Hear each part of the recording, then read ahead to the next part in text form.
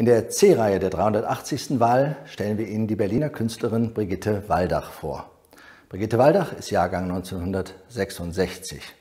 Sie hat neben der freien Kunst auch Germanistik studiert und verbindet in ihren künstlerischen Arbeiten, man könnte fast sagen folgerichtig, immer eine Bildebene mit einer Textebene, wobei diese beiden Ebenen inhaltlich ganz eng zusammenhängen.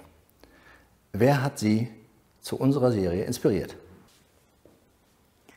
Die Serie ist dem US-amerikanischen Konzeptkünstler und Komponisten John Cage gewidmet, mit dem sich Brigitte Waldach schon seit Jahren künstlerisch auseinandersetzt. Er ist in den Motiven als Figur zu sehen, aber auch ein konkreter Text von John Cage liegt ihren Bildern hier zugrunde. Es ist der Text 45 Minuten für einen Sprecher aus dem Jahr 1954 und das Interessante an diesem Text ist, dass neben ja, Sprache dort auch Aufforderungen an den Sprecher integriert sind, äh, Geräusche zu machen oder eine Geste zu machen. Man findet zum Beispiel sehr präsent notiert, Nase und Ohren berühren, schnalzen. Und diese Aufforderungen, eine Handlung zu machen, sind auf der horizontalen eingetragen, zusammen mit der voranschreitenden Minutenzahl.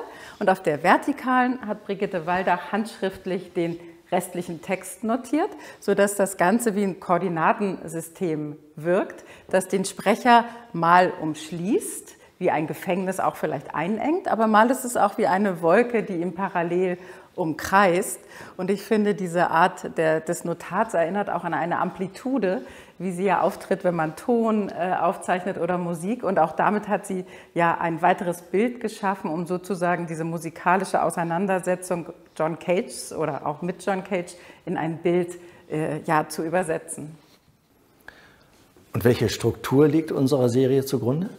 Sie hat die Motive eigentlich wie Diptychen konzipiert, dass immer zwei Motive zusammengehören, nämlich einmal der Künstler in der Wolke und einmal neben den Textbändern. Sie hat dieses Motiv aber auch farblich variiert und indem sie es quasi in neue Farbräume übersetzt hat.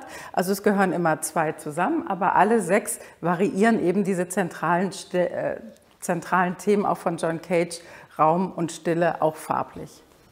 Und äh, welcher Technik bedient sie sich, um diese Variationen darzustellen? Genau, das war quasi nur im Siebdruck möglich. Sie hat also quasi mit sechs Farben und sechs verschiedenen Sieben äh, gearbeitet und sie konnte eben, jede Farbe ist von Hand äh, angerührt und äh, von Hand ausprobiert worden, damit sich auch eben diese unterschiedliche Farbwirkung ergeben konnte und diese unterschiedliche Betonung von Worten und Bildmomenten war nur so möglich.